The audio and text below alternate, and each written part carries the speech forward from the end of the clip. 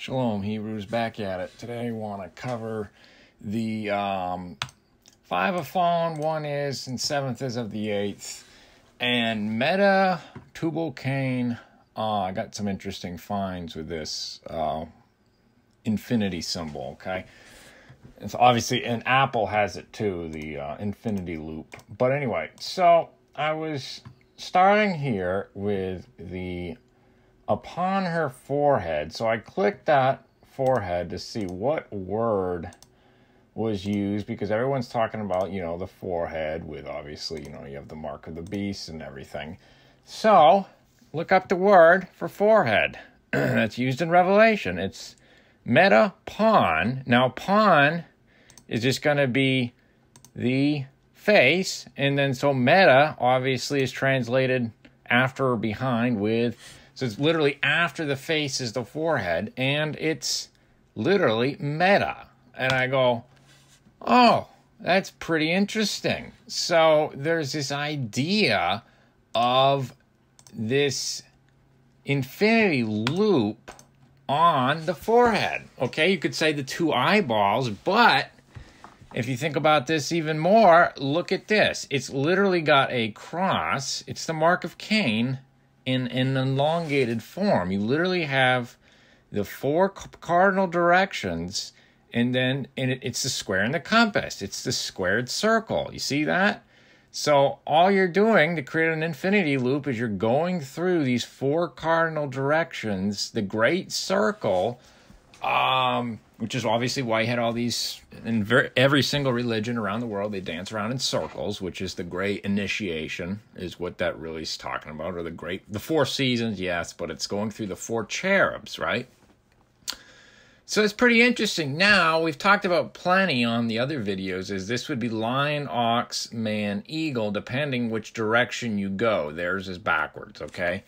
So that's what this really is. Okay, guys? So that is the infinity loop or the meta symbol. Okay, guys? So there's, uh, you know, before Facebook changed it to meta, they were obsessed. Everybody said, well, it was non debatable that, yeah, they were obsessed with uh, Tubal Cain, right? Let's see if I got to go back to that picture. Where was it? Uh, somewhere. Yeah, so before they were obsessed with Tubal Cain. We everybody knew, yes, this was the two Tubal. So now they're just taking it a step further and just going straight to this uh, infinity loop. Okay? Uh, now, what's interesting is this is also the uh, how you would say the two, the north and the southern hemisphere, or obviously Jachin and Boaz, the celestial and the terrestrial sphere and before they even said the world was a ball, they would map it on two circles like this. Okay, those very old maps, even when they the flat Earth maps were still mapped on these two circles. So this is the concept of the um, another way of just saying the interdimensional plane, right? Which is the infinity loop. Another way of saying. And then you also see it on on globes. You'll see the infinity symbol uh, around the equator, the Tropic of Capricorn, and the Tropic of Cancer, right?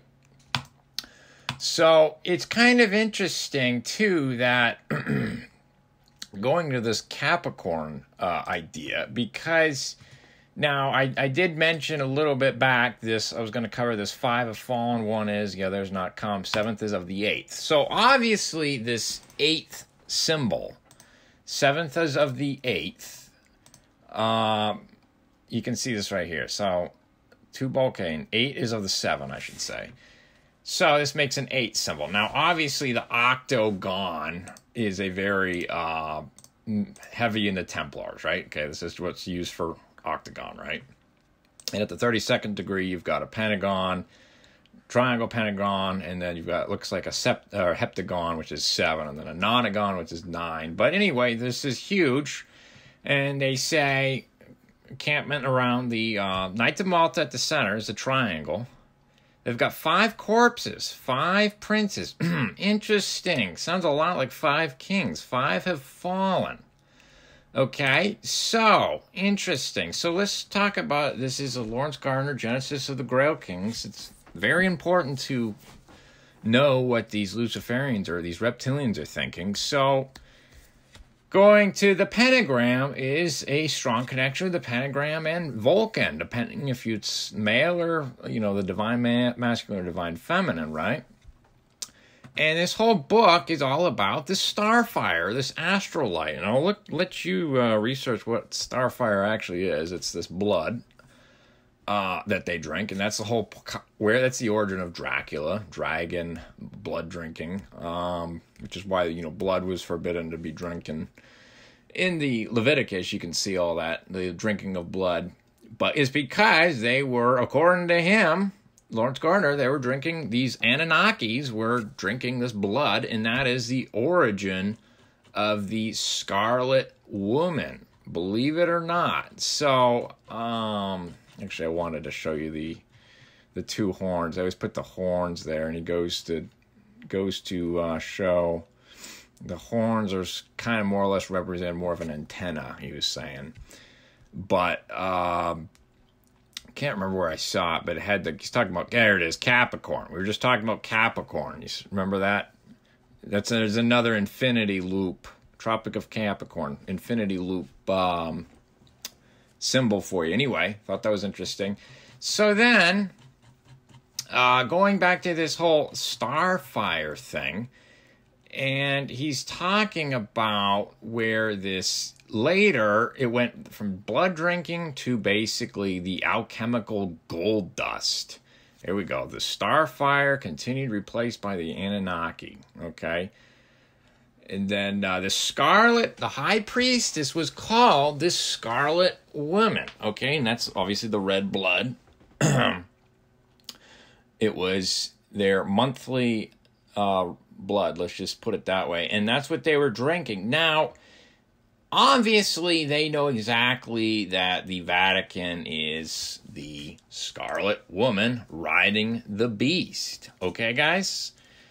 And on her forehead, you have this idea of the infinity loop on her forehead. Okay, so there it is. This woman was arrayed in scarlet. So they know very well that they don't deny, oh, yeah, these high Luciferians, they don't deny that this isn't them. They know exactly. Of course, they have their own definitions of what's really going on in their minds. So, yeah, they know all about the scarlet women, and that is now today it's the Vatican, but then they knew it was this Anunnaki bloodline. Okay, that's where this, and then originally from there it turned into again alchemy, and they said, well, Tubal Cain was the first alchemist.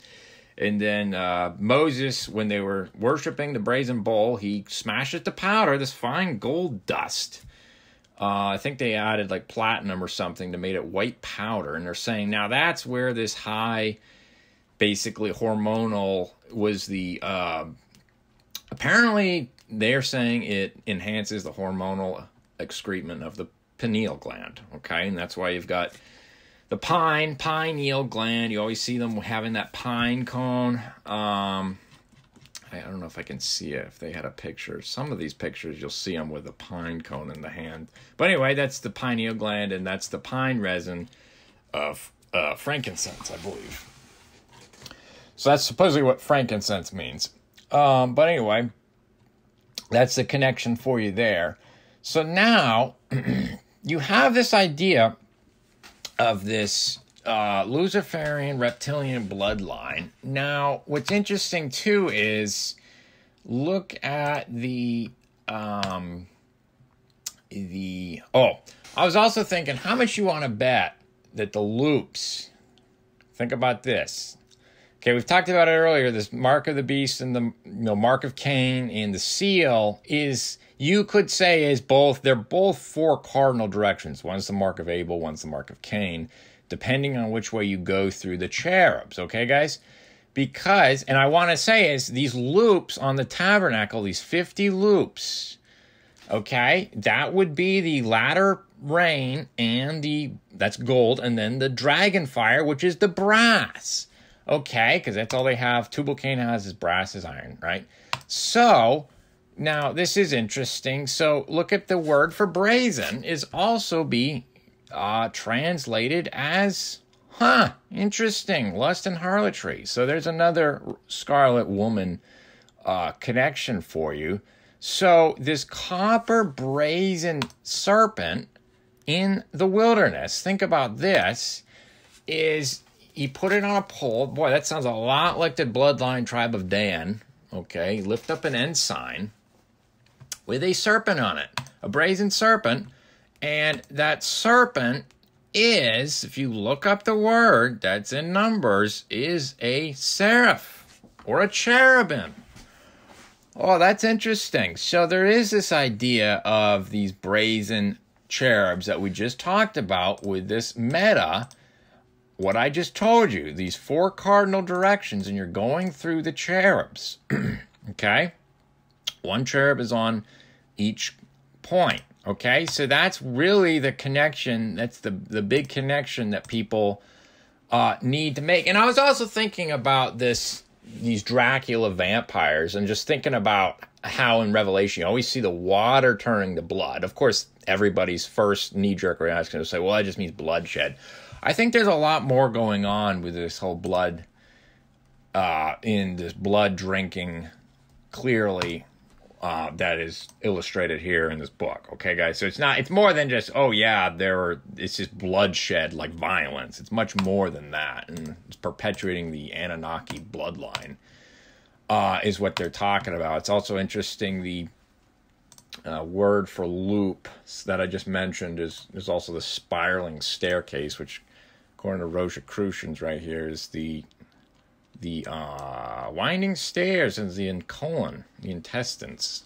If, your body is a if your body is a temple, right? Now I've I can't help but all of these books I've read or I read and I've shown you on my other videos is they always, always, always get the orientation wrong every time.